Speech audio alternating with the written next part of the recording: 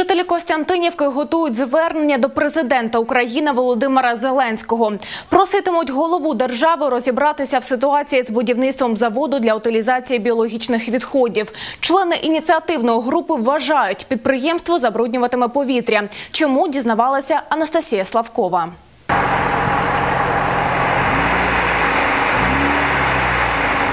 Так, у мікрорайоні Червоний вирівнюють поверхню під фундамент майбутнього заводу. Тут планують утилізувати біовідходи. Йде підготовчий період до будівництва. Будуються тимчасові дороги, проїзди, дороги, ті, що будуть потім експлуатуватись в момент будівництва. Будувати завод почали минулоріч у грудні. Я против того, чтобы строить новый завод, потому что вот э, 700 метров стоит уже существующий, который строился по всем параметрам в 90-х, но из-за из местных э, неурегулирований, ме- как вам объяснить, то есть это другая подведомственность. Министерству здравоохранения, они подчиняются ветеринарии.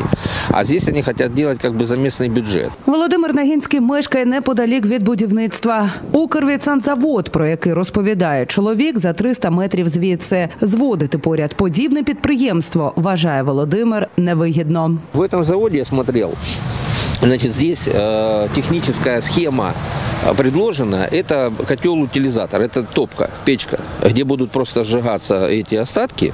Первое, это вызывает, э, ну, они говорят, мы поставим фильтры, все, но они не будут проходить первую стадию. То есть у них не замкнутая, ну, замкнутый цикл, но это будет просто пепел. Получить там денег невозможно. Здесь это заведомо, заранее, э, как вам сказать, так назовем ее, э, долговая кабала, где они будут работать, и будут люди, и все, это все будет за, за, я не знаю, то ли местный совет, то ли районный совет.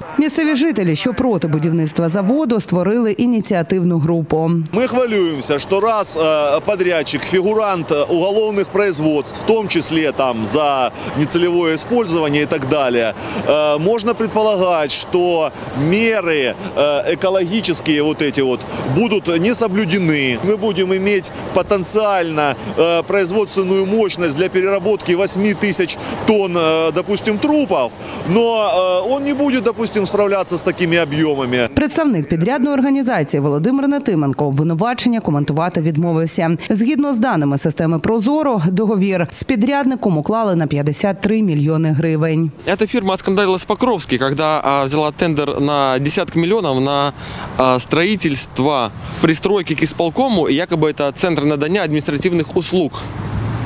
И все было настолько банально и просто. Просто директор этого предприятия получил деньги в рамках государственного финансирования по этому тендеру, перебрасывает их на свою карточку, снимает, обналичивает и тратит на свое удовольствие. 5 лютого жителі Костянтинівки мітингували проти будівництва заводу перед будівлею Донецької облдержадміністрації. Що касаємо цього заводу, то він е, зовсім безпечний. На ньому буде встановлена е, станція моніторингу, яка буде е, в режимі онлайн показувати всі ті показники, які є на заводі. Тобто кожен житель не тільки Донецької області, не тільки Константинівки, ну і взагалі всієї України може бачити, що там робиться в часі, теперішньому часі. Новий завод це комунальна власність, і власність буде ну, Донецької обласної адміністрації. Реконструкція того заводу старого, е, як пропонували ще два роки тому, е, на ній виставляли ціні 245 мільйонів. Новий завод стоїть 60 там, або 57.